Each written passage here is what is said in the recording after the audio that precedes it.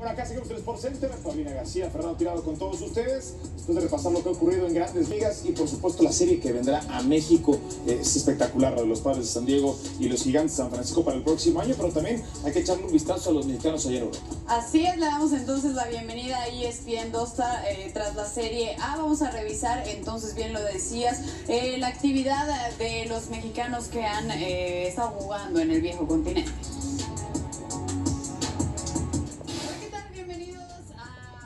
Presentados por Caliente.mx. Más acción, más diversión. Fer Tirado, Paulina García Robles, Fer, para platicar de partidos muy interesantes que tenemos este día. Por supuesto, selección mexicana y MLS. Hay que aprovechar el momento. Cuando hablamos del triplete de Erling Haaland se cumplió y se cobró más 400. Veremos qué joyita encontramos el día de hoy. Así es, y porque queremos seguir con la buena racha. Vamos a Mau, bueno, yo quiero saber lo que piensas tú, Fer. ¿Realmente ves atractivo ese más 125 de Carlos a, a ver? Pau, en esta mala racha que es toda la temporada básicamente para el Houston Antes Dynamo. de despedirnos, ojo porque diferentes medios en Europa están manejando que el Chelsea habría ofrecido 50 millones de euros por Edson Álvarez. Más adelante les tendremos más detalles. Es un montón de dinero ¿no? por el futbolista mexicano. Veremos si se llega a concretar esa transacción.